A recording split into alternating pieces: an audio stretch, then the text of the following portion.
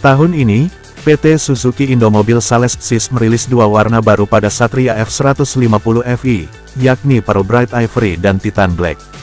Tapi opsi di Filipina lebih beragam. Yup, Suzuki Filipina baru saja mengumumkan hadirnya lima warna baru pada kembaran Satria F150 FI yang dijuluki Rider R150 FI. Kelima warna ini dibagi atas dua edisi yang berbeda, sehingga harga jual keduanya di sana tetap sama, yakni setara 33,6 juta rupiah. Opsi warna Rider menghadirkan nuansa biru tua di bagian depan dan hitam di bodi belakang. Sebagai pusat perhatian, ada aksen oranye kontras yang tertanam pada grafis stiker bodi dan peleknya. Hal ini membuat tampilan versi ini jadi segar dan berbeda.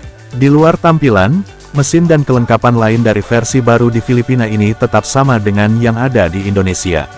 Mulai dari mesin 147 cc liquid cooling, DOHC, 4 katup dengan transmisi 6 speed manual.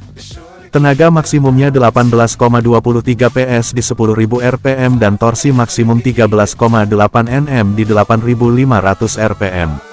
Di sektor kaki-kaki, Suzuki Rider R150 FI 2024 kemudiannya dilengkapi suspensi depan teleskopik dan shock belakang monoshock.